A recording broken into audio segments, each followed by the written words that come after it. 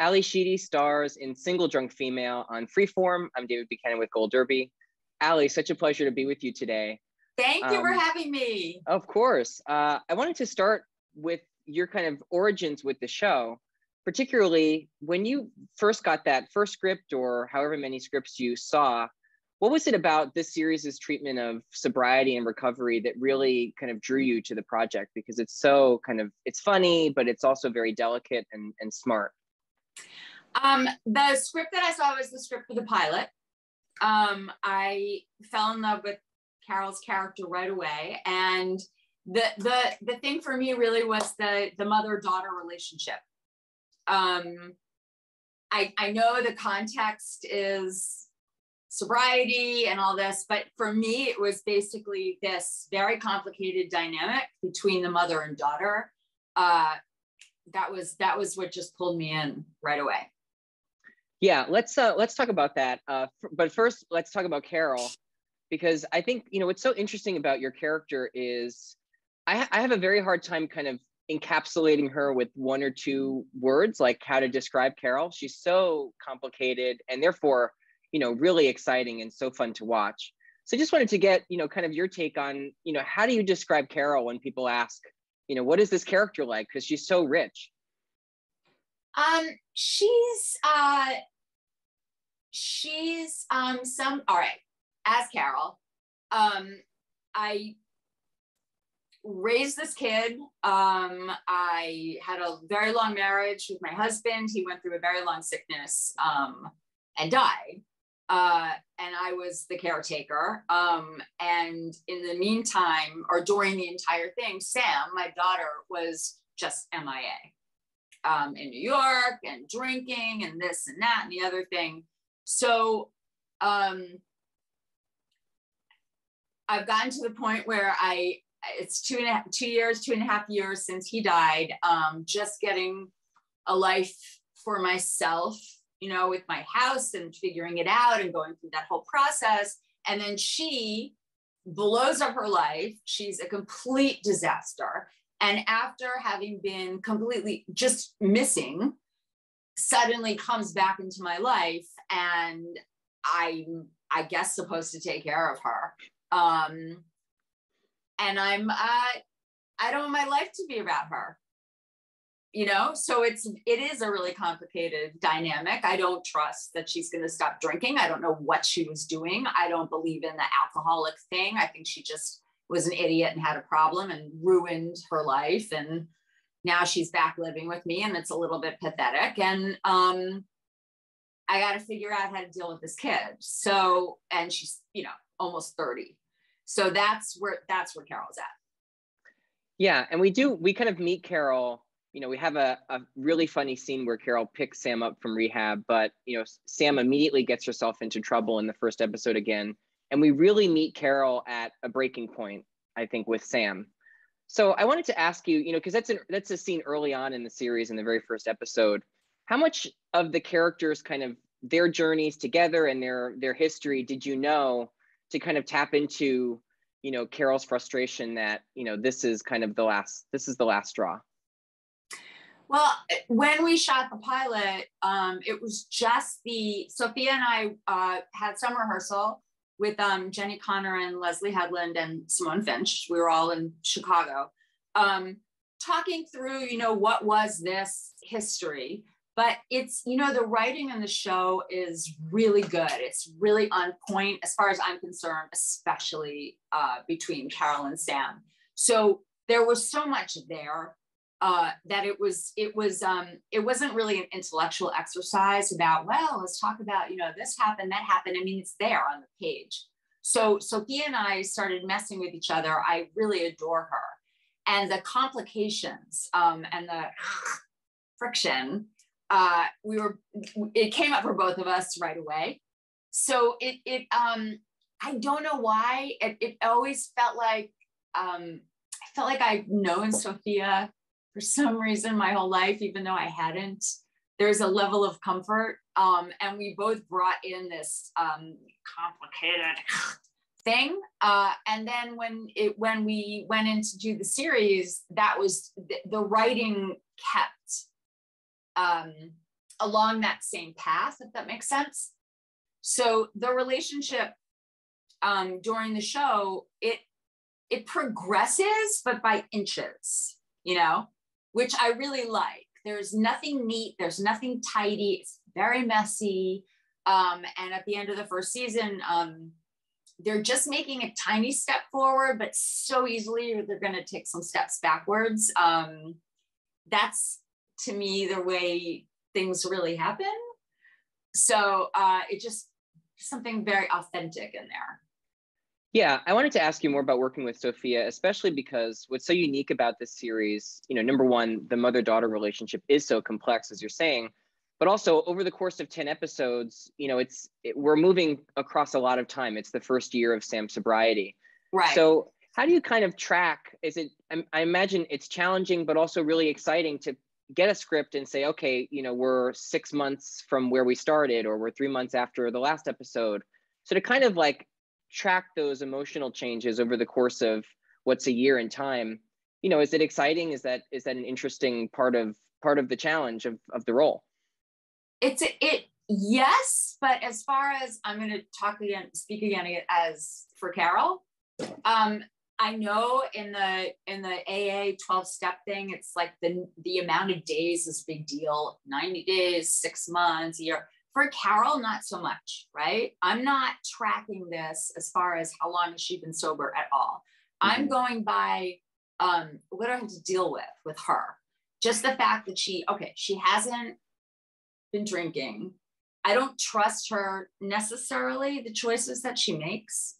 Um, you know, super, super great. There's an episode in there where she says, I'm, you know, 90 days, I got 30 days. Great. You know, I got, she's telling me the number of days. To me it's not that. It's an entire life of you know what we've lived through. So it's great that she can go to her group and they make a big deal about how much time that is. But for me it's years and years and years of stuff.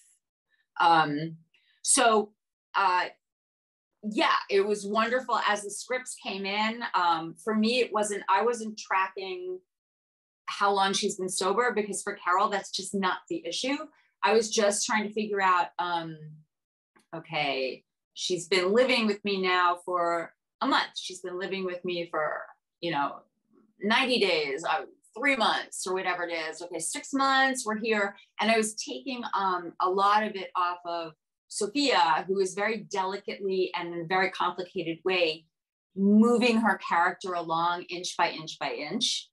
So it's in the writing, but it's also in what Sofia was doing um, that I was playing off of. Does that make sense? Oh yeah, absolutely. Yeah. And and it is so it's fun to watch how Sam kind of hampers Carol's relationship with Bob because we see Carol has a boyfriend from early on in the season, and the way that Sam kind of is complicating Carol's privacy and alone time, and um, you know Carol is really just interested in you know, trying to reclaim her life after, you know, as you said, being a caregiver. So I wanted to ask you about first, just about Bob. What do you think makes Bob such a good match for Carol? Um, and just the fun of working with Ian Gomez because the characters are so fun to to watch together. Um, yeah, I love Ian. We really we had a really fun time together. I feel very relaxed with him playing back and forth. Um, I don't know. I think I think um, Ian's playing a character that's very grounded.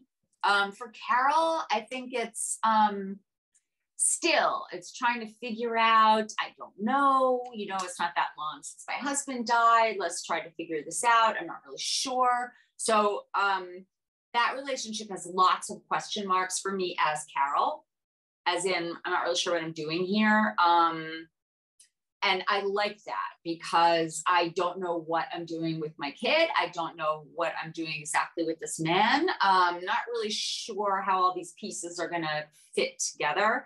And Carol's a control freak. So that I like that uncertainty. I don't want anything to be set in stone.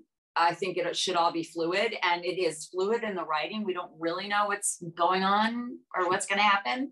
Um, that works for me with this with this character who I think doesn't want anyone making decisions for her ever. Yeah, that's that's a great point because there are a few episodes where Bob is really pushing you know, I don't even think he realizes, but he's kind of pushing Carol to do things or make decisions that she probably didn't want to do. So I wanted to ask you about two of those. The first is that spiritual book club scene where she doesn't want to tell people, you know, what's really going on with Sam, and he kind of nudges her to to do so. And it's, you know, it, it's very, you know, it's emotional for Carol, but the way you play it is also just hilarious. I mean, it's a great scene. So can you talk about, you know, these kind of moments where you get to to kind of play bigger? You know, she starts smashing, you know, appetite, you know, hors d'oeuvres, and it's it, it's a really interesting and imagine a really fun fun scene to play. But there's emotional work uh, to do too. Well, I feel in that scene, the book club scene, I feel really pushed against the wall. I mean, the social worker, the probation officer is there, and then what? He's brought her into the group. Um, I don't want to talk about all of this, but then I feel like, you know, I can't, I, I just can't with that. So throw it out there. Okay, this is what's happening. And you know what? Yeah, I'm angry. And you know what? Yeah, I spent hours putting these snacks together, the hors d'oeuvres. I'm just going to throw them all on the floor. I've had it, you know, and that's that's what was happening in that scene. Um, I I don't want him to um, say anything to me about the way that I am being a mother to my kid. Period. Uh, so anytime that he steps into that territory, I feel really uh, very defensive about it. Right. And that's exactly where I wanted to go next is that episode where Carol finds out that he's given Sam $100 for her trip to New York. And that really kind of, you know, we we know why Carol's upset and then Carol really realizes later that oh yeah, you're, you're kind of stepping into a role that my husband used to play and you really get to have that moment of grief. So I just wanted to ask you about again in terms of the tone of the series. You know, you get these kind of big and funny moments, but you also get to really kind of dig deep and and portray grief. So I just wanted to ask you about the range and and navigating the tone of the show. Yeah, I think it's I think Carol is both ha- has um does have a lot of grief, has a lot of depth of emotion, uh, a lot of anger, um, a lot of regret, um, you know, just uh, uh, not wanting to be controlled, not wanting anybody in my space, not wanting one, anybody to step over a line. I mean, I really have spent a long time taking care of people and I don't want to take care of anybody else. But at the same time, right now, even though underneath, of course, the Sam thing is very complicated about my kid. Um, I just don't want to be asked to do too much or pushed to do too much. Do you know what I mean? So when he does that, it makes me really angry. Uh, and I don't think Carol has, um, you know, she's got the book club. I she, there's not the self awareness to really be able, usually, to be able to talk these things through. There's just immediate reaction. Um, that's how she is. So you know, sometimes that comes in uh, the scene, uh, the context within the context of a kind of funny scene. The book club's just like right on the edge of being farce, right? But the um, scene where he has given her money, I mean, you know, no. So that one has a different context around it, but the impulse in the scenes are is it's it's similar. Yeah, yeah, and what you're saying about you know how carol responds to people versus when she's proactive is really interesting because we do see in her own way how carol cares for sam especially when people aren't kind of looking when when she's not being asked right. for that. Um, you know when sam's struggling to write or when sam is really excited about the job in new york and carol gets very concerned. So i love those moments and i you know i just want to ask you about playing them. Love the moments where carol in her own way does show you know her concern for sam especially when people aren't kind of putting that on her when mm-hmm. she gets to choose so just right. talk about you know like the like the scene opposite sam's sponsor like you know carol does get very proactive when you know when she feels like she she has a chance to to show you know care so the sponsor scene um i don't want my daughter to go to new york because it's i think it's a terrible idea because she might drink there uh, i can't really broach that with her. I think I kind of try to do a little bit. Um, so who can I go to? You know, the person that she keeps saying is the, you know, the person who's helping her be sober. Um, for me, playing Carol, for Carol, uh, I have jealousy about the sponsor. I have competition with the sponsor. Um, I don't really know what's going on there with that relationship. I'm gonna. It's a wait and see. It's a trial period for me. Um, but if she's if Sam is gonna go on and on about you know what a great sponsor she has and this and that, fine. I'm gonna go and talk to her, who Olivia, who I also know from her you know radio show and her books and her whole thing um, and just say, hey, listen, like I'm the mother, so I'm basically number one and you aren't. Um, and I'm going to tell you that this is what you need to do. You need to tell her she can't. Tell Sam she can't go to New York. And then the sponsor is not, um, she's got her own line there in the sand, which I think, which I uh, found somewhat enraging. Um, as Carol, not understanding how the whole thing works. So uh, I, I just feel during the entire season, which I love, there's I feel like there's just there's just people sort of trying to, you know, box me in. They're crossing my lines. Um, I need to figure this out for myself, and I want to be the one who's in control and makes decisions. And there's nothing in the entire season that really allows me to do that. So it's a constant state of, um, uh, you know, this. I'm just ready for someone to do or say the wrong thing, I guess. Yeah, absolutely. Uh, and two last questions I want to ask you, kind of looking forward, because the show has been renewed for a second season. Congratulations yes. on that. Thank you. I'm um, so happy. Yeah, me too. Um, I can't wait to see where the characters go. Um, so the first question is there's a really great scene in the second to last episode where Sam and Carol take a drive. Carol wants to spread her husband, her late husband's ashes, which Sam doesn't know about.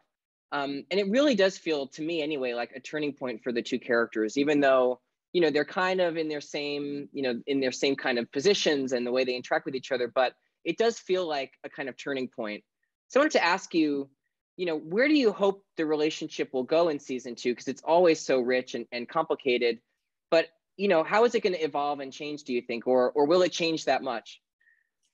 Well, it's I mm, it's going to be complicated because it it's kind of a turning point. But the thing I love about that scene is it that scene could have been a turning point, but because of the relationship, it's not quite a turning point. So she wants to talk to me about something. Well, I have my agenda. My agenda is, um, without telling you, we're going to spread dad's ashes. Um, and you can talk to me. Obviously, there's something really important you want to talk to me about, but my importance is going to take priority.